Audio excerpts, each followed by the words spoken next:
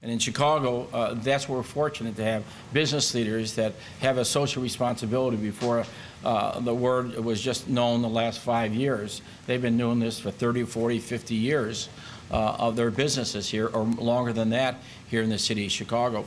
So as mayor, I've been envy of other mayors. Uh, the business community, uh, politically, is on the opposite side of the mayor. You know, all, everybody's fighting, nothing gets done. And here in Chicago, the business leaders, when it comes to the city of Chicago, when it comes to improvement of the quality of life, uh, they've always been in the forefront. They set aside their political differences, doesn't matter, and they say, okay, what is good not only for my company, but for the city? And this is another example, I believe, of the creative class of Chicago. Uh, we're really fortunate in, in the last uh, 15 years, 20 years, uh, uh, the number of young people that are coming to our city which is that's called the creative class, both college graduates under, uh, as well as uh, uh, others that are coming here on behalf of better quality of life of a big city. And when you look at big cities, you, want to make sure that uh, uh, that there's a quality of life there. Yes, you can go to and from work. Well, what, what other things the city can offer?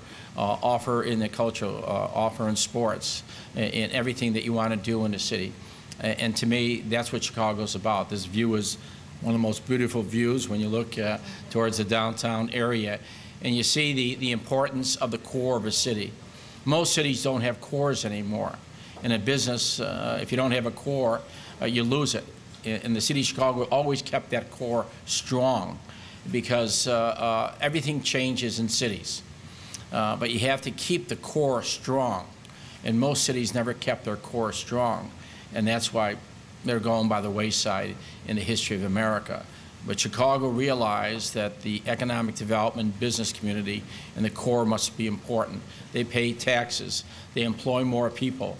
And that's why it's important that uh, as we look at uh, uh, the uh, great in industrial revolution that took place in Chicago, and what do we do with all the old factories? What do we do with industrial areas? And so there has to be a, adapting to new uses and this is such as uh, uh, this uh, here, which is really important for us here in the city of Chicago.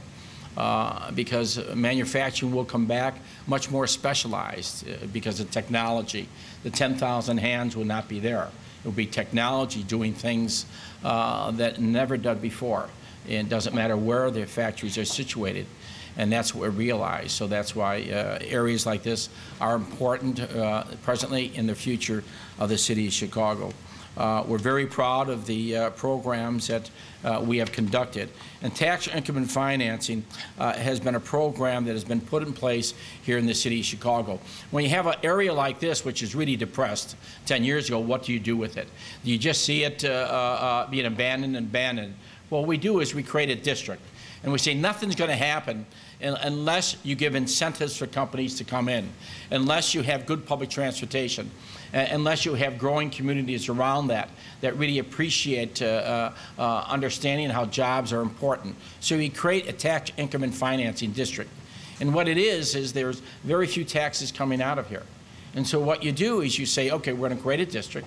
If we bring a company in and, and we start getting some revenue, we, we, basically reinvest that revenue back into uh, the district, which is really important for us. And so here today we provided $3.4 million in TIF assistance to the Kinzie from the Kinzie Industrial Corridor tax increment financing. And that is basically a major part of the strategy here in the city of Chicago. It wasn't for tax increment financing, uh, much of the relocation of business or businesses into communities would not be here in the city of Chicago. And so they played a huge role, this money has played a huge role in rehabbing existing buildings, land acquisition, site preparation. And one of the real problems in industrial areas is environmental remediation. And so someone could look at the property and say, it's easier to go out to the suburban area. I don't have to spend the money for environmental remediation. And that's one of the things we use the money for uh, to really entice businesses such as this coming down uh, here in the city of Chicago. In return, the private sector has invested more than $8.4 billion in neighborhood development TIF projects. There's $6 of private investments for every $1 of TIF funds invested. That is a great return.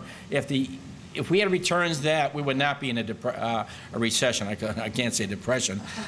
People fall off the couches. Uh, uh, uh, is this deep recession? They call it deeper. And understand we're getting deeper and deeper. It's a deep recession. And, and so what I see is uh, that's why the TIF program has been much more workable here in the city of Chicago. And it's been a catalyst in regards to this. And I just want to thank Gordon for his, his great leadership here as, as a business leader, and not only in his own company, uh, but a leader in his own right and uh, getting more and more businesses involved in, in this great city, because this is a great city. There are foundations built in every part of this city uh, that will move on uh, and do a much better job in the future for the people of the city of Chicago.